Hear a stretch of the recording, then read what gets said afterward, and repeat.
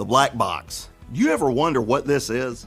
Well, commercial truck, trailer, tractor trailer, whatever you want to call it, they have ECM electronic control modules responsible for monitoring and controlling important engine and vehicle components.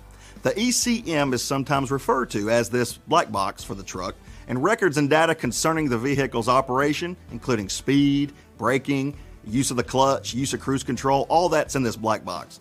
The type and amount of data recorded by the ECM, it will vary according to the engine manufacturer.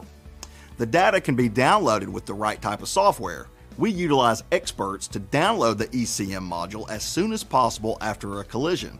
If the vehicle is placed back into service, the information on that black box will be written over and possibly will not ever be able to retrieve at a later date. So time is of the essence with these claims. Remember, the defense and the insurance companies already have their team of experts working against you, working that case up. Make sure that you retain yours.